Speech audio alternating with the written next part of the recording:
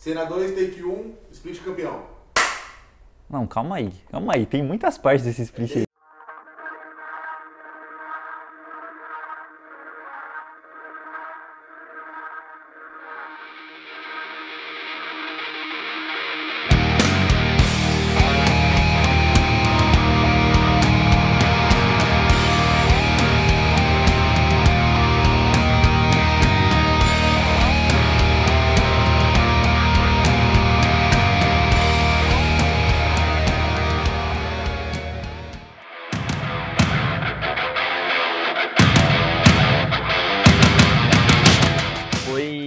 Começo que a gente começou um pouco conturbado. A gente veio, a gente estava muito confiante no primeiro split e veio para o segundo split falando, pô, será que é isso mesmo? Será que a gente tomou as decisões certas? Eu lembro que a gente no ano anterior a gente ganhou o circuitão, depois ganhou a load e chegou no CBLOL, meu, hypado, porque, meu, começamos a ganhar tudo e os meninos tinham certeza que iam ser campeões. E aí a gente chegou na semifinal, perdemos, né, tiveram ali vários erros que aconteceram. Erros fora do, do jogo, né? Não dentro.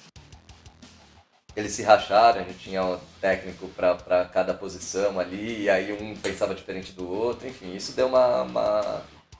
causou um problema no time, mas o principal fez eles perderem a confiança um no outro. Quem vai ser incumbido de chegar na hora do mid-game assim, de falar. Porque alguém vai falar, óbvio, não, vamos ali! E vai falar, não, a jogada é esta, vamos concentrar, guarda spell, tudo pra fazer a isso. A gente fala isso. Não, não fala. Fala. Sempre uma voz se sobressai, ó oh, fulano ali, pega ele! E aí começa a desgraça. é assim, é tipo, tá pra nascer um objetivo, olha o cara ali! Não, só vai, só vai que dá! No começo do split foi bem complicado, porque é, alguns queriam mudar o time, alguns não queriam mais ficar, é, a gente teve ali que fazer, eu e o Corradinho, fazer uma baita ginástica ali para conseguir, sabe, contornar e fazer o time ali se acreditar e continuar junto. E, ah, vamos tentar mudar, vamos, vamos atrás de outros jogadores. Mas assim, um zero. Hoje eu posso falar, a gente não queria contratar ninguém, nem iria. Por mais que a gente foi atrás, a gente não ia contratar. A parte legal é que assim, foi a primeira vez que eu vi o Aedes e o Coelho discordarem, terem opiniões distintas. Até então isso nunca tinha acontecido. E, e, e o Aedes foi quem assim bateu no, no, no, no, ponto de que, cara, a gente só vai ganhar se tiver se manter o mesmo time, tem que manter o mesmo time. Então ali a gente focou bastante ali no Aedes, falou, cara, eu também concordo, vamos na do Aedes, eu acho que é o caminho.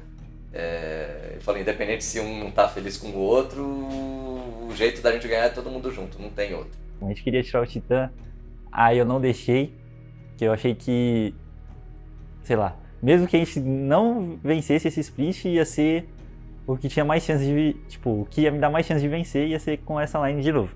E aí o Aegis conseguiu fazer ali a cabeça do coelho também, a cabeça de um, a cabeça do outro, a gente também foi lá falando. Porque é o que o Aegis falou, é, a chance da gente ser campeão é a gente junto, se separar, ou se, se ele entrar um novo aqui, às vezes as coisas vão mudar, muda a dinâmica, muda a relação.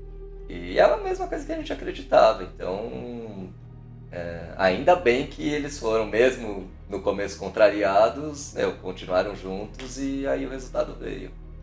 Nossa, a maior dificuldade do split foi fazer todo mundo entender o jeito que a gente queria jogar, assim. Tipo, a gente primeiro teve que achar o jeito, né? Que a gente queria jogar. E se daria certo, porque isso envolve muita coisa, né? Tipo assim, todo mundo tem que concordar com isso, todo mundo tem que estar na mesma página. E no começo, cara, a gente voltou que nem o final do primeiro split, um time mais caótico, um time não muito organizado, uh, tendo muitos problemas no começo ainda, por mais que a gente estava tava mais maduro, uh, a gente ainda não tinha uma direção para seguir saber como é que o time ia melhorar. Por que que, tipo, a gente com tempo na frente, com o Wave, o Ward e tudo, a gente não vê o mid? Tipo, sério, se a gente pega o primeiro Herald da Vorax, a gente sabe como é que eles ficam, tá ligado? A gente sabe. Olha a visão que a gente tem na flank, no flank ali, tá ligado? Olha o wave que eles iam ter que responder no mid inteiro aqui, ó, na minha tela. 832. Olha o wave que eles iam ter que responder. Se eles aparecem aqui, nós que tem que estar tá engajando neles, pô. Eles que não podem dar cara aqui. Que porra é essa, man? A cena que eu mais quero ver hum é a gente bater pela primeira vez num Nexus nessa temporada.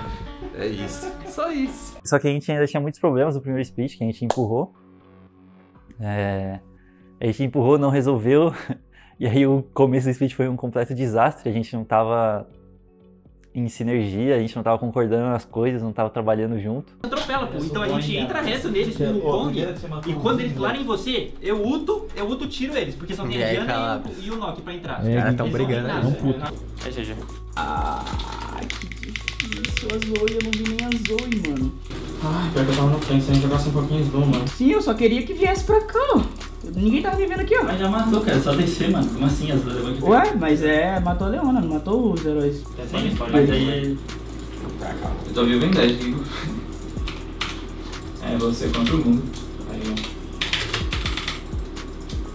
Tem GM? Não. G. O começo desse segundo split foi um pouco difícil pra mim. É, o primeiro split, querendo ou não, eu passei jogando a Academy toda. E eu achei que eu tava. Foi depois da minha pausa, né? Então eu queria voltar a uma Academy mesmo pra ver se, tipo assim, eu tinha perdido muita coisa, se eu realmente não conseguia mais. E depois do primeiro split, eu comecei a dar, tipo, tudo de mim. Eu comecei a ver os treinos dos caras lá embaixo, eu comecei a tentar conversar o máximo que eu podia com a Ez, com o Coelho, pra eles realmente me ajudarem e me botarem de volta ao cenário, o que estava acontecendo, tudo que estava acontecendo. Então, quando começou o segundo split, que eu ia começar essa academy de novo, eu falei pra mim mesmo, cara, eu vou jogar de novo e eu vou ganhar dessa vez, eu vou me provar. E foi muito difícil também, porque à medida que eu jogava Academy, eu também via os caras no CBLOL, eu via todo mundo jogando CBLOL e eu ficava, pô, por que eu ainda não tô? O que, que falta? É difícil. Nesse split ah, foi bem difícil pra mim, porque eu tive bastante carga emocional do outro speed, porque eu acabei não tendo férias, porque eu escolhi ficar aqui ah, jogando por causa do Covid, eu não fui pra casa. E aí eu continuei jogando LoL, jogando LoL, me estressando com a solo kill e não tive um tempo pra resetar. E aí eu já comecei meio estressado assim, e também no outro split. Teve vários problemas no time também, que continuaram assim na minha cabeça nesse, nessas férias, entre aspas. Ah, mas assim, quando o split começou, eu tava jogando muito mal. Daí do começo pra metade eu melhorei um pouco. Mas depois disso eu piorei de novo. E só que a gente ainda conseguiu se classificar para os playoffs. vinha com uma mentalidade meio estranha do fim do primeiro split, onde a gente a gente teve muito problema no final do primeiro split e eu acho que a gente não conversou entre os splits, mesmo com o time se mantendo para arrumar isso. Então eu acho que o começo do segundo split foi algo muito complicado. A gente não estava se entendendo como jogadores, como um time, e a gente precisou trazer uma ajuda, que a gente não sabia mais o que fazer. E foi quando a gente pensou no Faxi.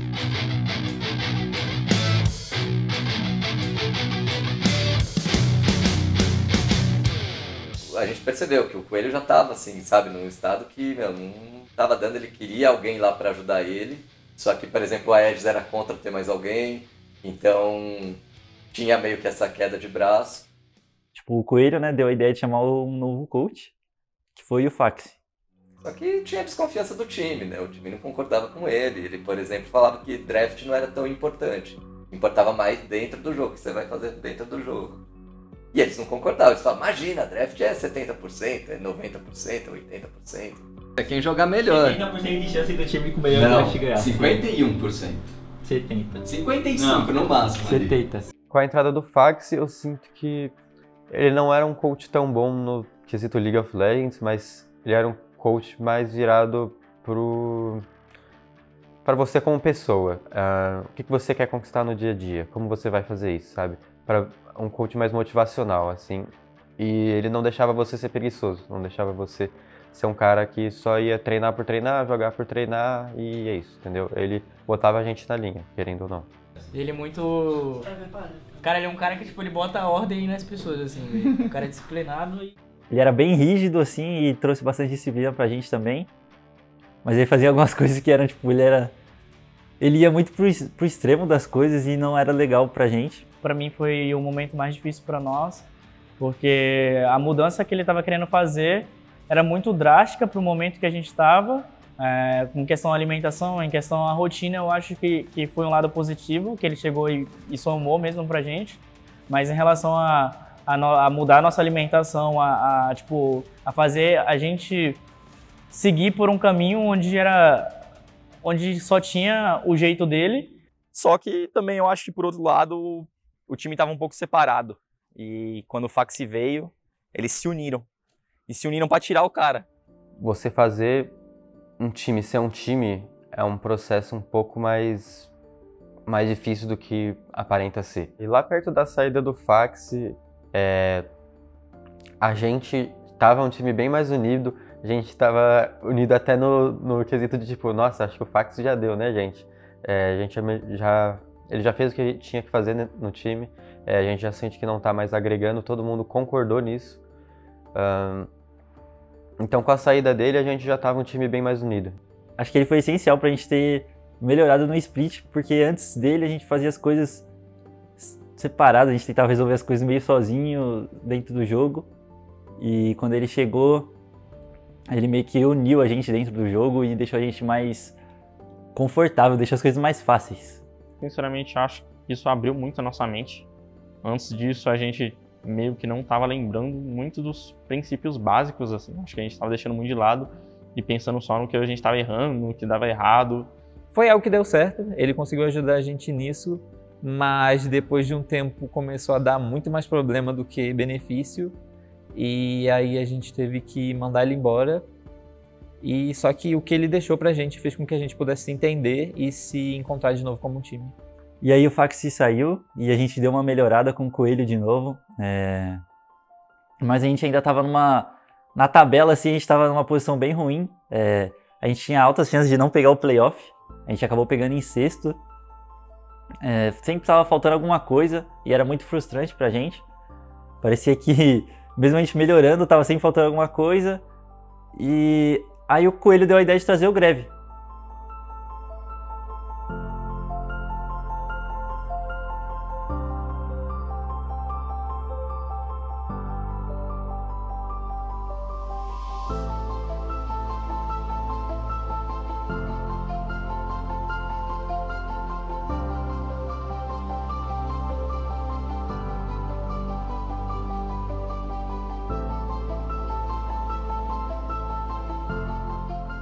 Eu falei, qual que é o maior problema do time que você vê hoje?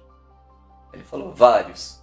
Eu falei, não, eu sei que tem um monte, mas aí, qual é o maior problema você acha? Não, não, é, não tem é, um problema em si, mas também tem gente jogando mal.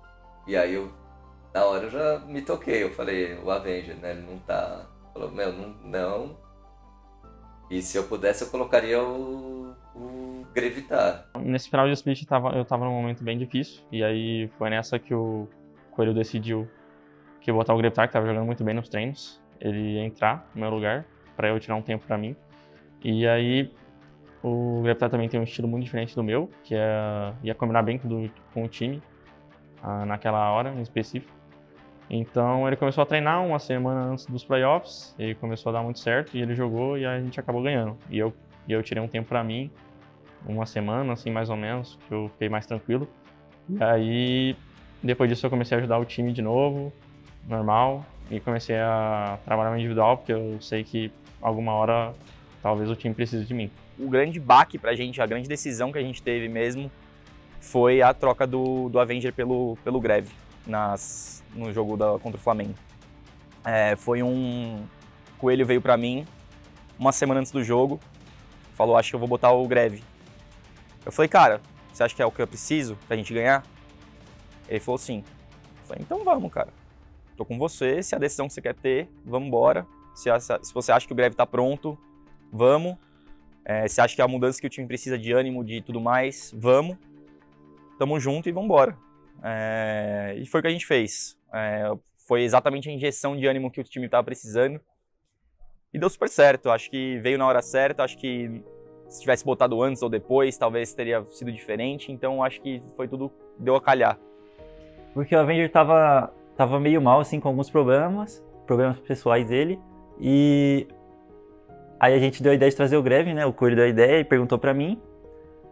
E eu perguntei pro, pro Greve se ele queria, se ele achava que conseguia entrar é, nessa situação, né? Já pro playoff. E aí ele falou que sim, que era a oportunidade que ele queria. E aí, faltando uma semana, apareceu que tudo encaixou, tudo ficou mais fácil com o Greve. Então, quando o Corradinho chegou para mim e falou, cara, sua hora chegou, eu lembro pra ele que, tipo assim, eu só virei, mano, é agora. Mano, eu vou ganhar essa merda. A gente vai ganhar essa merda. E foi. Foi incrível, mano, porque eu não poderia ter tido estreia melhor. Eu que era um cara que ficava me perguntando o tempo todo quando que eu vou estrear, quando que eu vou jogar, quando que eu vou chegar no CBLOL. Acabei tendo a estreia mais perfeita da minha vida. Eu estreiei umas quartas de final do CBLOL, valendo a vida na fogueira, com todo mundo se questionando você. E na minha cabeça parecia que eu só tava olhando pra frente e falando pra mim mesmo, cara, é tua oportunidade. Agarra ela e não larga mais. Saídas, recuo, tudo é da equipe da Red Kennedy Scalunga, Redbert, tentou, olha o bait, ele caiu, Estamos cada vez mais, o Tuts faz a linha de frente, segura justamente com o Redbert, faz o papel mais uma vez, Netuno tá livre, Netuno tá livre, Netuno tá livre, já vai batendo, fazendo o que ele precisa, mas agora acharam no meio do caminho, e aí meus amigos, a Red vem pra brilhar, pra segurar de novo, e tá lá. Silas, obviamente a ideia era em cima do Kenny, que o próprio Takeshi já comentou que cresce. Mas o Yampi morre, chefe? Morre. morre. O Greve tá nível 3 ainda. Hum, ele não acertou, mas mesmo assim. Mas mesmo assim, meu amigo, mesmo o Yamp é o foco, virou dano pra cima dele. Chegada no Greve junto com o Gigo. Olha a parte chegando. O Edge Sky, mas também leva um, fica um por um por enquanto. A Red tá mais inteira, a Red tá mais forte. Frente pra iniciar, pra acelerar, já vem. Ultimate do Greve, quem puxa o gatilho é a Red. Pressão pra cima do Oz, vai dividindo agora esse dano. A Bora que está toda quebrada, porém tem muito dano pra causar. Linha de frente sempre. Mas a Red não quer deixar, não. O Matsukaze tá longe, é um 5 contra 4. A Red puxou o gatilho primeiro, garante eliminação mas pra cima do Yamp. Só o Red tá também, vai ter a grande eliminação em cima do Yamp. Já garante o Arauto, mesmo assim o Yamp será eliminado. A pressão da Red em depô. O Oz deve cair aqui. Perseguição do Titã. Já leva o traz pros dois. O Matsukaze eliminado no último, praticamente pelo Titã. Já vem a perseguição, o que acontece? Quer mais um, quer mais um e tá aí! Três abates em série, mais um double kill nas mãos do Gritar e a Forex vai sendo em cima do trigo. Agora a rotação do Chiari pra rota do meio. Vai tentar chegar pra cima do Greve, foi pego! É o Ciro.